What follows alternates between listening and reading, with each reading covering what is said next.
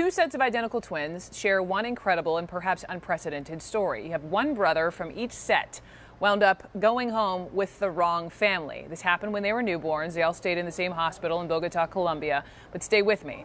Carlos here went home with Jorge, and in turn, that meant their twins, William and Wilbur, then grew up together. So they thought they were fraternal and not identical. So this is a case of uh, double case of switched at birth. A friend recorded the moment when one pair of identical twins met one another for the very first time.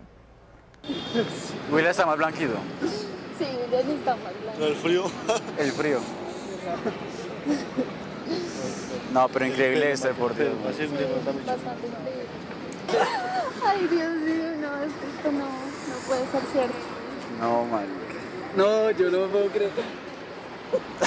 O sea, yo analizo lo que pasó y yo digo, bueno, no sé si es mejor lo que sucedió o no ir en la calle y verlo.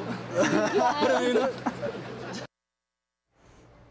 How wild is this? The brother story makes uh, for a fascinating case of nature versus nurture, as featured in this current issue of the New York Times Magazine. So, with me now is the magazine's editor in chief, Jake Silverstein. So, Jake, thank you so much for joining Yeah, me. Thank you for bringing fruit. I have because we need visuals in this kind of story. Because again, this is a situation of two sets of twins separated That's right. and switched. It is very hard to follow. The story is inherently confusing. It's like a game of three card Monte with, with Totally. humans.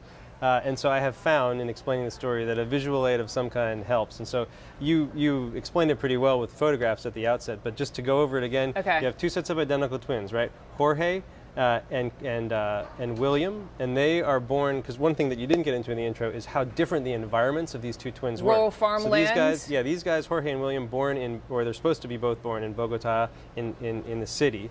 These guys over here, uh, Carlos and Wilbur, from a very, very remote part of northern Colombia. Uh, it's extremely rural, very, very poor. The house that they're from, their family's from, no running water, no electricity. You got to walk through the mud for miles to even get there. So they're both all at the same hospital. They get switched like this, and so these guys go home together, and that's where our story kind of begins. I- I, was going to get to the fact that because I know one set who ended up in it was at Santander Yeah. in the rural farmland was frustrated thinking, well, they could have grown up and going to school in Bogota. Exactly. But, but let me not get ahead of myself. Right. So this whole thing came to light as a total coincidence at a grocery store. Exactly. So what happens is these two guys, the the twins. This is uh, Wilbur. Will, this is Wilbur, and this is William, and they're raised in the countryside. They move to Bogota, right? So they move to Bogota. They both end up working as butchers in a grocery store in Bogota.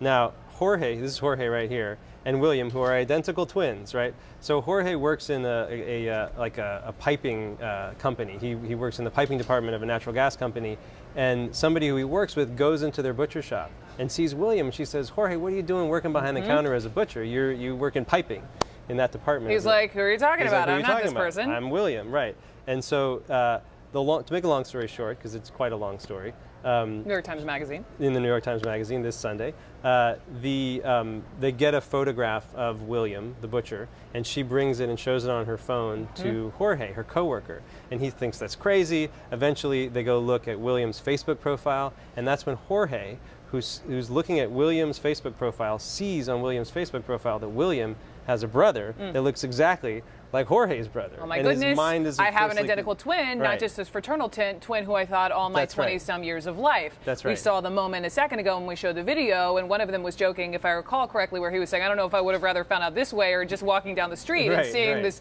mirror image of myself. Yeah. The other fascinating piece of this, this massive um, article is about, um, how did you phrase it to me? Um, uh, The- the twins research. The twins research, and we talk a lot about nature versus nurture, but when they meet each other, how, how the qualities are so similar, even they grew up so separately. That's right. Well, this story eventually, initially came to us uh, through the work of a woman named Nancy Segal, who's a, a, a researcher at Cal State Fullerton.